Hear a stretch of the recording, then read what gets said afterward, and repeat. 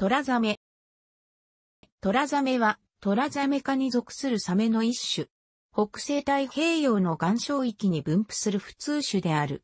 低生で水深320メートルまで生息する。最大でも50センチメートル、体は細く、糞は丸い。皮膚は荒く、体色は褐色で、蔵状の模様がある。オスのクラスパーには無数の針状構造がある。鼻孔と口の間に溝はなく、広角の溝は上顎には伸びない。餌は軟体動物など。卵性で、メスは卵床に包まれた卵を一度に2個産む。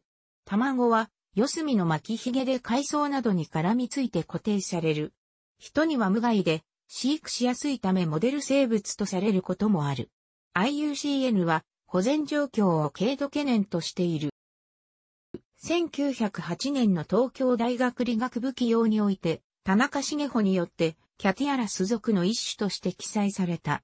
種商名トラザメは和名に由来する。タイプ標本は三崎町で捕獲された45センチメートルの生体オスである。その後、キャティアラス属は、サイライアラニス属のシノニムとされた。最大で50センチメートルに達する。体は細いが、ある程度体高があって硬い。頭部は細く、幅は長さの2、3程度。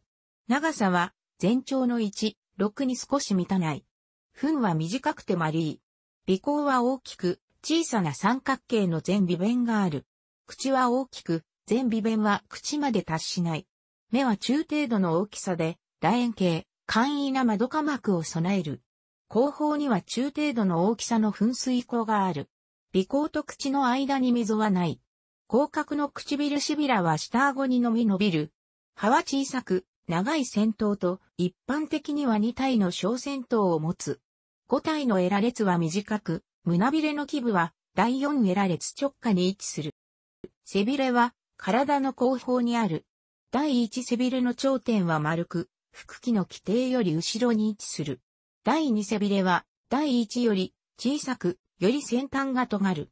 胸びれと腹びれは中程度の大きさで、オスでは腹器の内縁が融合し、長く円筒形のクラスパーをエプロン状に包み込む。尻びれは2機の背びれの中間に位置する。小柄は体高と同じくらい高さがあり、その後ろには低い尾ひれが続く。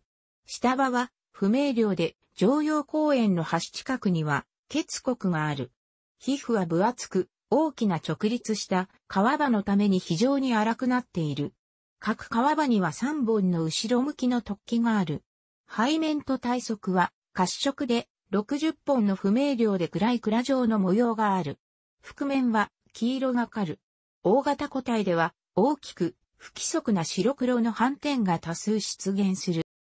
北西太平洋の日本、朝鮮半島、中国沿岸、おそらくフィリピンにも分布する。低生で岸辺から深度320メートルの大陸方、上部大陸斜面まで分布する。岩礁域を好み、回遊は行わない。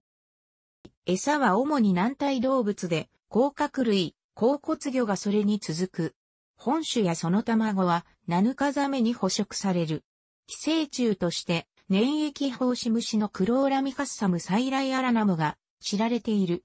卵性で、メスは、片側の卵巣と両側の油卵管が機能する。交尾前には、オスは、メスの胸びれ、体側、エラ部分などに噛みついて、体を固定する。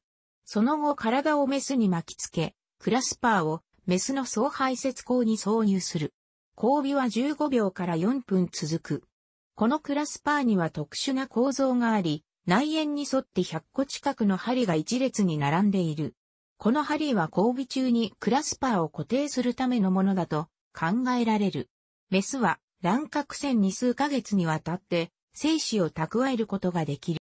メスは、油卵管1本につき1個、合計2個の卵を産む。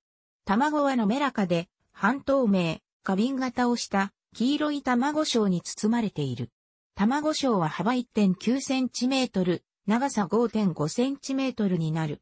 卵床の四隅には長い巻きひげがある。卵は特定の生育場に産みつけられ、例えば、函館の水深100メートルの地点にそのような場所がある。肺は 3.6cm の時点では、外エラを持ち、ヒレは未発達で色素はない。5.8cm になると、外エラが消失し、皮膚が小さな皮場で覆われ始める。7.9cm になると、よく発達したヒレと色素を持つようになり、生体と似た姿になる。孵化までに、水温摂氏11.3度では15ヶ月、摂氏14.5度では7、9ヶ月かかる。孵化時の大きさは8センチメートル以上である。水温が低いほど、成熟時の大きさが大きくなる傾向があり、函館北部では38センチメートル以上、メスでは47センチメートルになっても、未成熟の個体がいるが、津島南部では、私有ともに33センチメートルで、生成熟する。寿命は最低でも12年。人には危害を加えない。飼育環境にはよく適応し、水族館では飼育化繁殖も行われている。生理学におけるモデル生物として用いられることもよくある。1995年には、増田元康らが本種を用いて、初めての晩菜類の人工受精に成功している。小型でおとなしいことから、一般個人の家庭の水槽でのペットとしての飼育にも適している。トロール漁、刺し網、底灰縄などの低層商業漁業によって混獲される。混獲個体は一般には廃棄されるが、眼見であることから生存率は高いと考えられる。山口県の漁業で廃棄された魚類の40%が本種であったというデータがある。福島県の底引き網漁業では年間1トン以上の本種が漁獲され、同じく廃棄されている。強い漁獲圧がかかってはいるが、おそらく他のサメよりも繁殖力が強いために普通種に止まっている。このため IUCN は保全状況を軽度懸念としている。日本各地で採集された個体から生物濃縮されたとみられる PCBD などの汚染物質が検出されている。東南アジアの開発途上国では、これと同様に DDT が蓄積しているとのデータがある。トラザメ類は英語でキャットシャークであり、タイガーシャークではない。タイガーシャークは名門な大型種イタチザメを指す。